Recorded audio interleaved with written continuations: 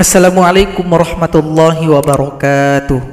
Sahabat pecinta Al-Quran semuanya, kita akan mempelajari beberapa ayat yang ada di dalam Al-Quran agar nantinya kita lancar ketika membaca Al-Quran. Bagi sahabat Al-Quran yang ingin mempelajari ilmu tajwid, Alhamdulillah di channel ini telah kita rangkumkan materi yang kita bahas dalam bentuk buku PDF, buku Tajwid Offline. Insya Allah buku ini akan kita cetak nantinya di penerbit.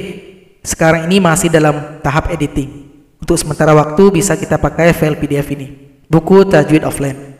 Bagi sahabat Quran yang berminat bisa hubungi kami nanti di nomor WA. Akan kami kirimkan filenya gratis untuk sahabat Quran. Yang penting kita semuanya bisa sama-sama belajar. Bagi sahabat Quran yang ingin berdonasi juga dipersilahkan. Akan kami tampung juga bisa di chat nantinya di WA.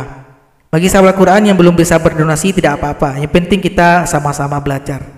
Oke, silakan nanti diminta ke kami mengenai file PDF ini. Ini insya Allah lengkap kita bahas dari awal sampai pembahasan ayat gharib, ayat-ayat khusus yang ada di dalam Al-Quran. Kita tampilkan semuanya dengan ringkas, dengan mudah untuk dipahami oleh sahabat Al-Quran. Silakan nanti chat kami di nomor WA. Perhatikan surah Al-Maidah. Sekarang ayat 42. Kalau kita berwakaf di sini huruf ta-nya disukunkan, maka berikan bunyi vokal atau sifat pada huruf ta. Ada bunyi hamas ada suara yang berisikan angin atau nafas. Di sini kalau kita berhenti juga disukunkan, maka berikan bunyi pantulan. Itu tidak boleh dibaca lisuhti atau lisuh itu salah. Bilqis itu cara berhenti yang salah atau bilqisti tidak boleh juga dibaca yang tertulis. Jadi cara bacanya ini berikan sifat hamas, ini berikan sifat qalqalah. Samma'u للكذب أكالون للسحت للسحت ada bunyi itu bunyi hamas pada huruf ta lisuh lisuh kalau di sini wa in hakamta fahkum bainahum bil qist bil qist Berikutnya ayat 48 masih surah Al-Maidah. Kalau berhenti pada huruf qaf, huruf qalqalah yang tasydid, pantulannya jangan langsung datang terlambat dua ketukan. Jadi setelah ditasydidkan, tahan dulu dua ketukan baru dipantulkan. Amma ja'aka minal haqq minal haqq Contoh yang seperti ini hampir kita jumpai pada setiap surat. Jadi harus dipahami dengan baik dan benar. Berikutnya surah Al-Maidah ayat 61. Nah, di sini harus hati-hati. Kolkolahnya ada pada huruf dal, dalnya sukun berarti ada kolkolah. Tapi kan disambut oleh huruf dal yang tasdid, maka kolkolahnya tidak ada karena dia telah gabung pada huruf dal yang berharokat fathah ini. Jadi ini namanya idgham mutamathilain pertemuan dua huruf yang sama makhraj, sama tempat keluar, sama sifat, sama pula bentuk suara.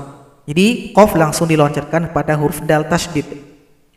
Wa qad dakhalu bil kufri wa hum qad kharaju bih. Wa qad dakhalu. Jangan dibaca wa qad da. Nah, itu salah. Wa qad dakhalu. Berikutnya surah Al-Maidah ayat 61 dan 63. Di sini kalimatnya sama. Cara berhentinya sama dengan cara pada ayat pertama tadi. Huruf tadi disukunkan berikan bunyi hamas. Yang ini juga. Wa aklihimus suht. Wa aklihimus suht. Ini juga. Wa aklihimus suht. Suht. Terakhir kita lihat di dalam surah Al-Maidah ayat 78. Ini juga sering muncul di surah Al-Baqarah. Huruf waw yang sukun kalau berjumpa dengan waw tasydid ini namanya adalah idgham mutamathilain. Sama dengan dal sukun tadi berjumpa dengan dal yang tasydid. Maka cara bacanya huruf yang pertama digabung pada huruf kedua, jadi shad langsung diloncatkan kepada huruf waw tanpa didengungkan. Dzalika bima 'asaw wa kanu ya'tadun. Kalau dibaca dengung atau dibaca panjang itu kurang tepat. Asau itu salah atau asau wakanu. Nah, itu baca nih keliru. Jadi langsung tasdid tanpa panjang tanpa pula didengungkan.